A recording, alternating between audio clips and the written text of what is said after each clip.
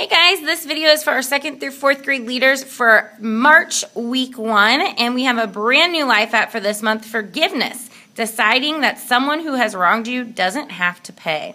And our new memory verse of the month is Colossians 3:13. Put up with one another. Forgive one another if you are holding something against someone. Forgive just as the Lord forgave you. Week one, our Bible story is about the unmerciful servant, and our bottom line is forgive others because God forgives you. And just to go in a little bit more detail, because that's kind of vague, it says we start the month with one of Jesus' parables recorded in the book of Matthew. Jesus told this parable because Peter asked a question about forgiveness. Peter might have thought that he was doing pretty well to say that he would forgive someone seven times, but Jesus raises the stakes and says that we ought to forgive others even more. So Jesus actually says not seven, but 77 times. Jesus shows what this means with a parable about a servant who is shown incredible forgiveness, yet doesn't do the same in return. So, our bottom line is forgive others because God forgives you. And God's love for us is huge, and that love drives God to forgive us when we do something wrong. God can help us forgive people in our lives, and when we realize how much God has forgiven us, we can turn around and forgive people who might hurt us. And this might be difficult, but God can give us the help that we need to love others and show forgiveness. So that's what this week is all about. Um, starting off, we'd love for you to join us in the garage room at 8:20 and 10:20. It's a great time just to get our minds right and set for the morning to pray for each other, and also for coffee and donuts. So totally worth it to get up here 10 minutes early. Um, it totally. I could not go without it on Sunday mornings um, serving just because it helps me really remember why I'm here and serving. Then just make sure you're in your small group area by 8:30 and 10:30. When kids start to roll in at 8:40 and 10:40, Make it personal. Ask kids um, about their week. Make sure you know all of their names. Don't ask them about Christmas and New Year. Forgot to take that line out. Um, help first time guests to feel welcome. And then on your cart, you will each have a baggie of bingo chips. It looks like this. There's 150 bingo chips in the bag.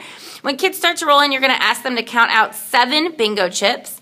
And then as more kids arrive, you're going to put all the chips back in the center and count, challenge them to count out 77 bingo chips altogether, just to kind of see the difference between 7 and 77.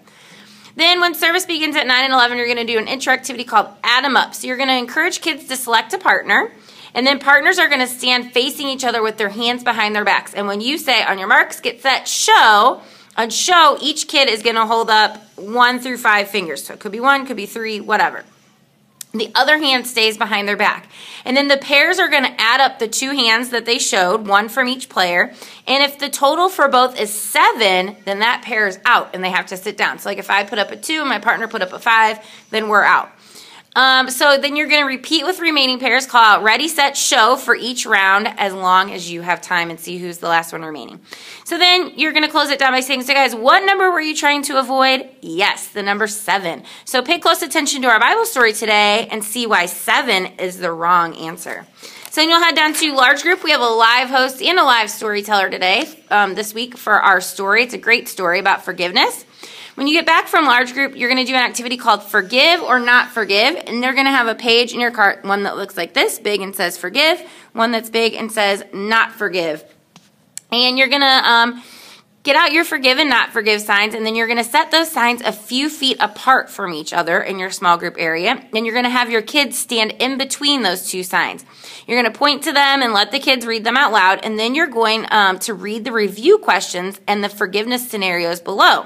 And kids are going to decide if the statement indicates a choice to forgive or not forgive, and they will move to the correct sign. So just make sure that the kids return to the center before you ask the next question. And then you're going to ask the following questions from the review to, um, to review today's Bible story. So you have these two questions, and they're going to say forgive or not forgive. And then you have these scenarios from our life. So do we forgive? Are the person is the person forgiving or not forgiving in those scenarios? Um, and then you'll just close this activity down. Whoops, sorry by saying, So, guys, the reason today's Bible story seems so unfair is that the servant wasn't willing to do something that had been done for him. So he was forgiven, but then he wouldn't go forgive someone else. He refused to forgive the debt that he was owed, even after his own much larger debt had been forgiven. So, why do you guys think he refused to forgive? What do you think um, what do you think you might have done in this situation if you were that forgiven servant? And then kind of just talk about that for a little bit. And then you're going to say, So God is like the king in this story that Jesus told. He will always forgive you no matter what. Forgiveness isn't easy, but we can choose to forgive when we remember that we've been forgiven first. So let's choose to forgive others because God forgives you. So for the memory verse activity, it's called You Say This. And what you are going to need is this little staple um, paper clipped packet that says memory verse sentences on it. And it just has sentences um, from the memory verse. There are three total sentences from the memory verse. And you're going to divide your group into three teams, and then you're going to use these tips below to look up the new memory verse in the Bible. I do have some new Bibles on order so that we can have more Bibles for our small groups. And then you're going to have kids stand with their team, and you're going to hold up the first memory verse sentence and point to a team and have them read the sentence. Then you're going to hold up the next sentence and point to a different team and have them read that sentence. And then repeat the third sentence with the final team. And then continue repeating the verse pointing to the different teams for each sentence during each round. So just teams will read different sentences, just getting kids familiar with the verse. And then after repeating the verse, ask kids what it means to put up with someone else. And then you'll close this down by saying, So great job, teams. And you're going to hold up the last page with the third sentence of the verse and say, This verse reminds us to forgive as the Lord forgave you. God isn't asking you to do something that He isn't willing to do Himself, and God won't ever ask you to forgive without His help. He knows we'll be tempted, just like the servant in our story today, to hold on to our anger and frustration and refuse to forgive. When, when we start to feel that way, we can choose to forgive others because God forgives you. So remember, forgiveness fixes it. Then some optional small group discussion questions. Do you think forgiveness is a strength or a weakness, and why? Why does forgiveness matter? How do you know if you have forgiven someone? What does it look like to forgive someone? How can it help you show forgiveness if you know and think about how everyone is made in the image of God? And is forgiveness about fairness? What if you don't think someone deserves to be forgiven? Good questions. And then to close it down in prayer, you don't need anything, just lead kids in prayer using the conversation guide below. So it says, Peter asked Jesus how many times he should forgive someone. Seven times? Maybe you feel like you've had to forgive your brother 777 times just in the last week. But we shouldn't keep score. The point Jesus was trying to make is that it's not about a certain number, it's about doing what you can to fix it. And it's easier to fix it when we remember that we can forgive others because God forgives you. So let's pray and ask God to help us do that this week. So then just close down on prayer.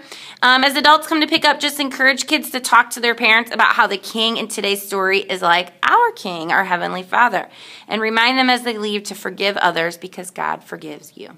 So we have new memory verse cards to hand out this week. Um, we have parent cues that will be going home with kids this week. Thank you you to all of you that came to the safety meeting on Monday. I thought it was great. Great information for us to all have in our back pockets on Sundays. So thank you guys for coming. And thank you guys so much for serving. You all are so incredible. I just can't say it enough. So thank you, thank you, and we'll see you on Sunday.